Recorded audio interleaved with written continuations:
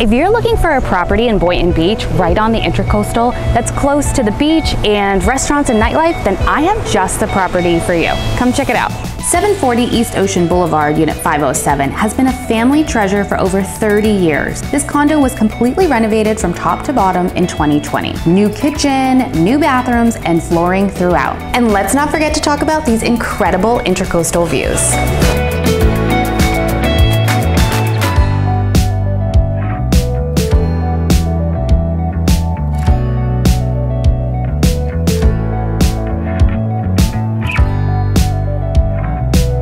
Coastal Towers is an incredible waterfront community that has amazing amenities such as a pool, a clubhouse, a gym, and so much more. If you have any questions about this property or anything in Boynton Beach, please feel free to give me a call.